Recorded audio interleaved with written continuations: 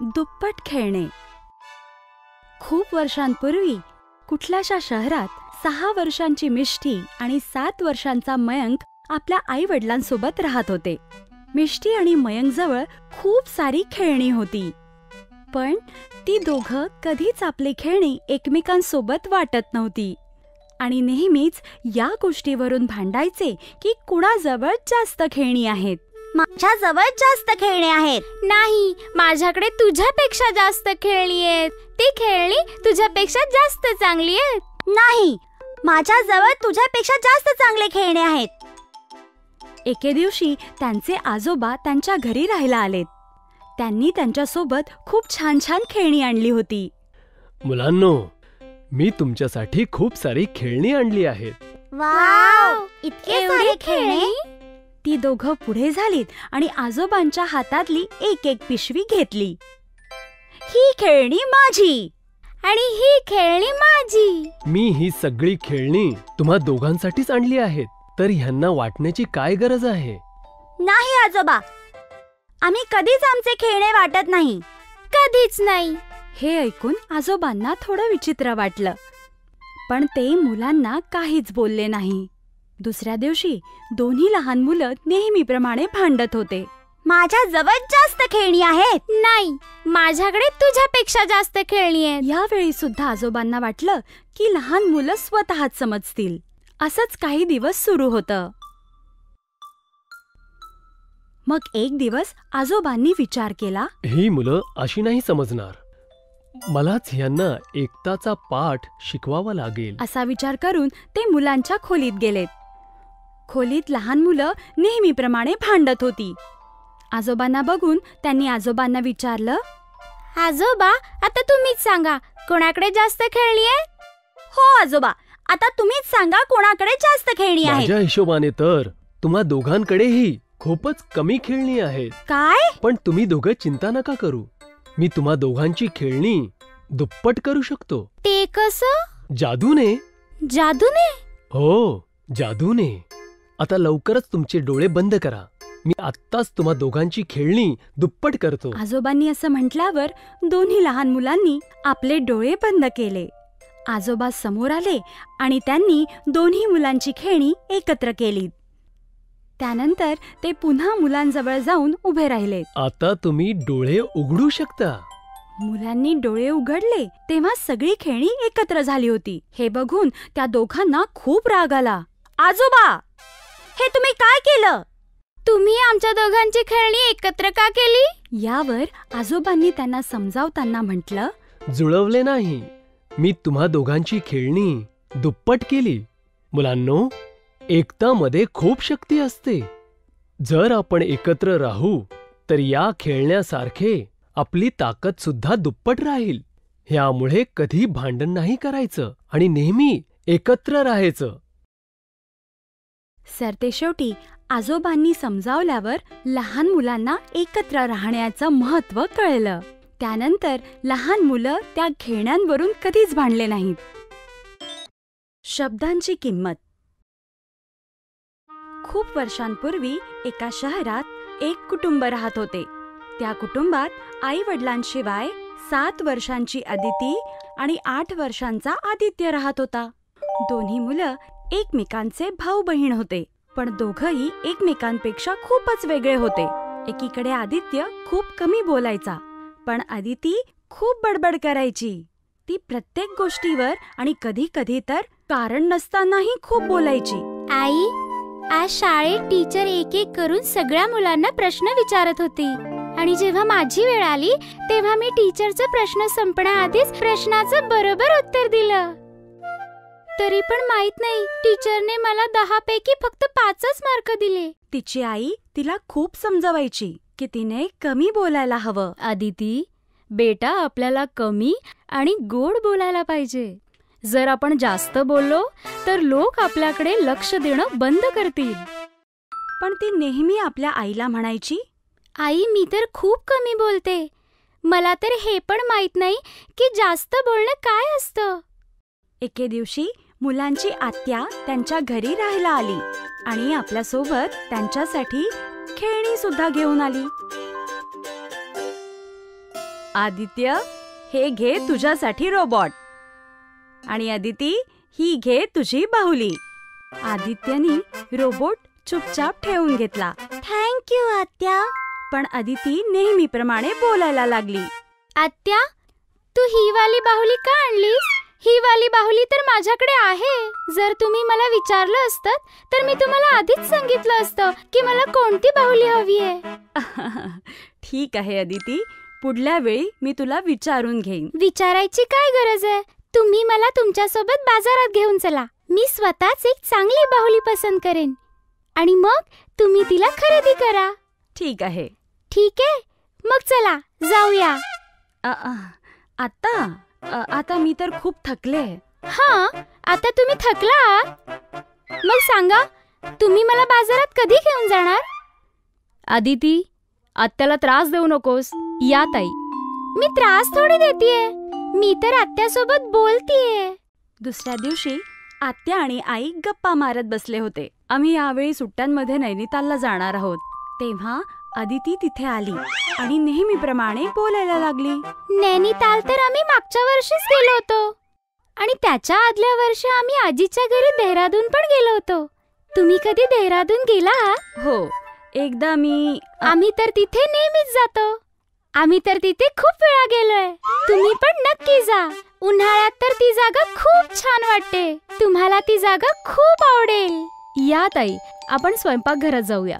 आणि त्यानंतर तुम्ही नैनिताल नक्की जा. तुम्हाला तिथे पण छान वाटेल. त्याच रात्री अदितीचे बाबा सुद्धा आत्यांची गप्पा मारत बसले होते. ताई चांगलं झालं तुम्ही आलात.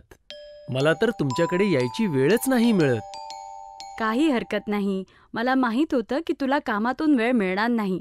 म्हणून मीच तुम्हाला भेटायला आले. तेव्हा अदिती तिथे आली आणि बोलायला लागली. बाबा मला तुमच्याशी काही बोलायचंय. आत्ता नाही आदिती. आत्ता मी तुझ्या आत्याशी बोलतोय. ठीक आहे.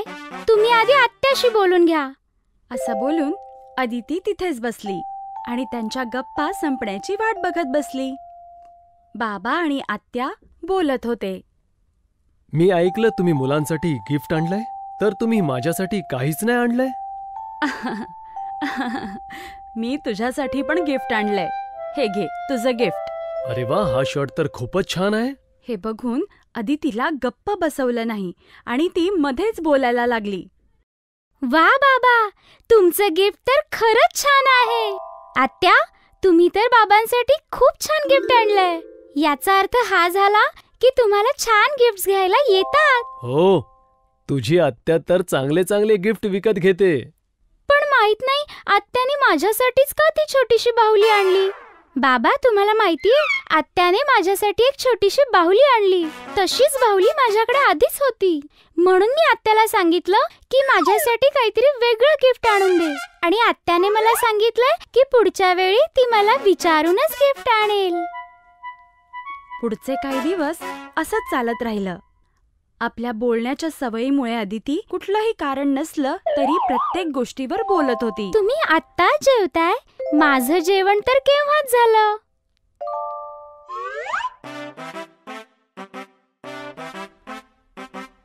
तुम्ही आत्तापासून झोपताय? मी तर खूप उशिरा झोपते. तुम्ही आत्ता झोपेतून उठताय? मी तर सकाळी लवकर उठते. आत्याला तिच्या ह्या अशा बोलण्यावर राग खूप येत होता पण त्यांनी तिला काहीच म्हटलं नाही. नंतर जेव्हा तीन दिवसांनी आत्याची जाण्याची वेळ आली तेव्हा आत्यांनी मुलांना विचारलं सांगा मुलांनो पुढच्या वेळी मी तुमच्यासाठी काय घेऊन येऊ?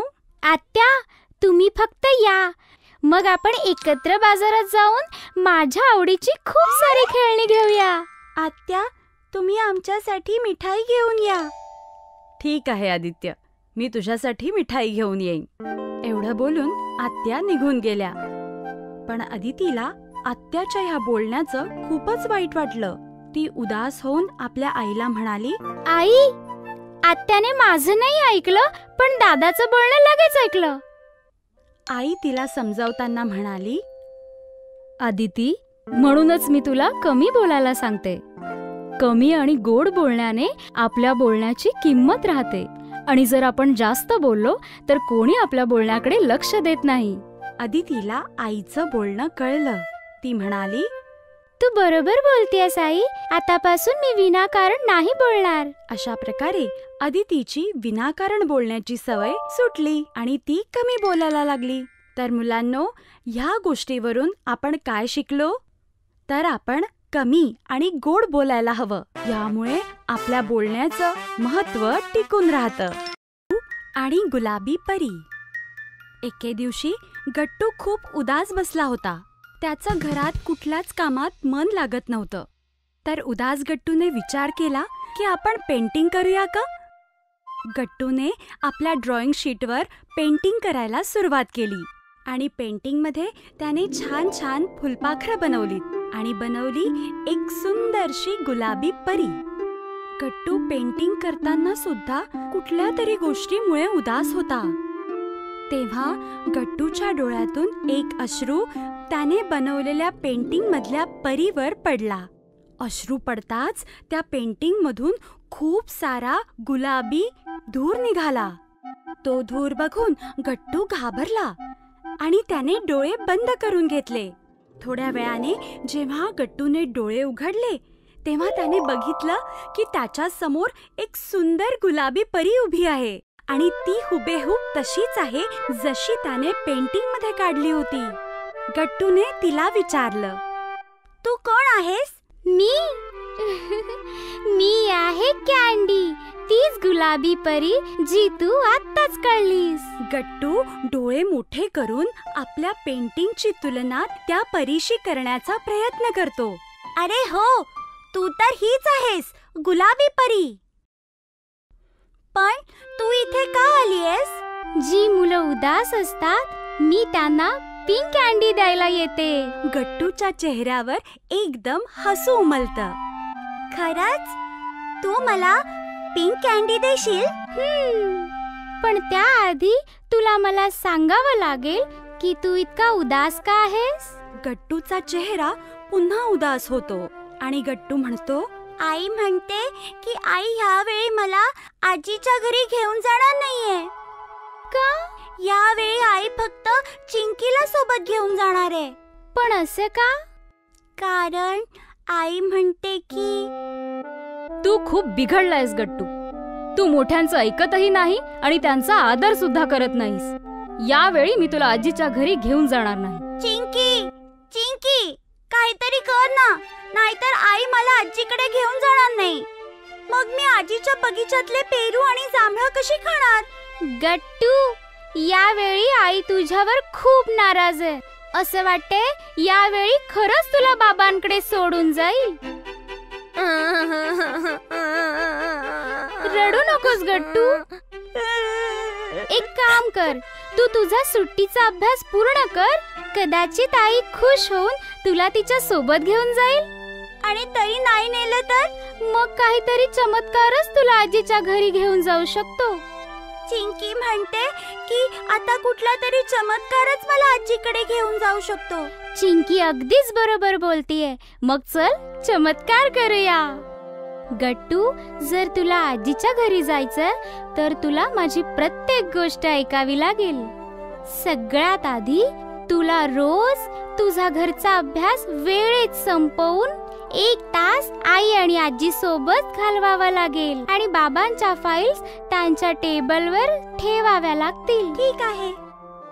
आता मी जाते आणि हा लक्षात राहू दे मी कायम तुझ्या सोबत राहीन. इतकं बोलून परी छू म्हणून गायब झाली आणि जिथून आली होती तिथेच परत गेली.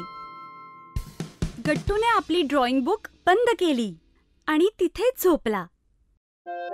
गट्टू झोपला होता. तेव्हा त्याने ऐकलं की आजी बाहेरून कुणाला तरी मदतीसाठी हाक मारते.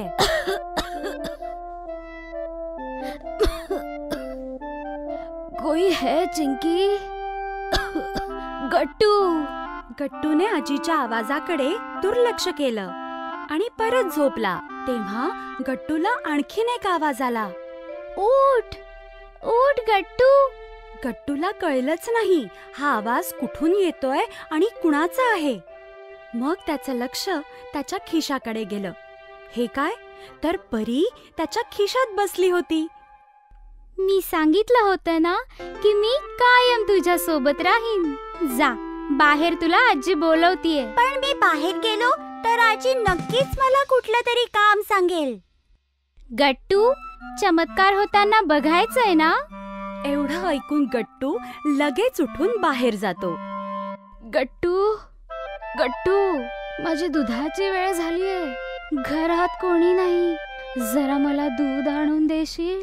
गट्टू चलो किचन में. पण हे तर थंड आहे. आणि आईने गॅस सुरू करायचा नाही म्हणून सांगितलंय. आता मी काय करू? आजीला तर भूक लागली आहे अरे हे काय? तुला जादू पण येते? एक काम कर आजीला सांग की आज हे ताक पी. हम्म, हे योग्य होईल. आणि ताक तर थंडच पितात. बरं झालं तू माझ्यासाठी ताक आणलंस गट्टू. माझं कालपासून ताक प्यायचं खूप मन झालं होतं.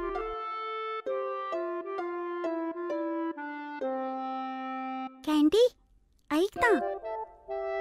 मी ही भांडी घासून टाकू? नाही गट्टू. तू अजून लहान आहेस म्हणून मी या कामात तुझी मदत करते. ठीक आहे. तोपर्यंत मी हे सगळं सामान फ्रीजमध्ये ठेवतो. आईला हे बघून खूप आनंद होईल. एके दिवशी घरी आजी आणि गट्टू शिवाय दुसरं कुणीही नव्हतं. चिंकी आणि गट्टूचे आई बाबा बाजारात गेले होते. तेव्हा गट्टूला बाहेरून आजीच्या खोकण्याचा आवाज आला.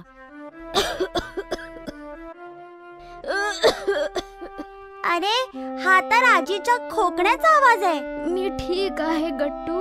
तू अभ्यास कर. गट्टू घाबरतो आणि परीला आवाज देतो. कॅन्डी? कॅन्डी आजीची तब्येत कदाचित बिघडली आहे मी काय करू? इतकं बोलवून सुद्धा परी येत नाही. कॅन्डी? गट्टू सरळ स्वयंपाक घरात जातो आणि आजीला त्यांचं औषध आणून देतो. थोड्या वेळात गट्टूचे आई बाबा परत येतात आणि आजी त्यांना सगळी घडलेली हकीकत सांगते. तुम्हाला अशा अवस्थेत सोडून आम्ही आजीच्या घरी नाही जाणार आई. मी आता अगदी ठीक आहे. तुम्ही सगळे जा आणि हा गट्टूला पण सोबत घेऊन जा. नाहीतर इथे कंटाळून जाईल. नाही आजी. आम्ही तुला या अवस्थेत सोडून कुठेच जाणार नाही? यावेळी उन्हाळ्याच्या सुट्ट्या आम्ही तुझ्याच बरोबर घालवू. गट्टू बरोबर बोलतोय आई. सुट्ट्यांचा आनंद तर घरात सुद्धा घेता येईल.